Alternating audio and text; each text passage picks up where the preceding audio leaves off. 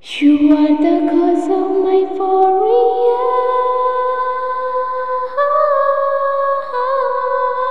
Yeah.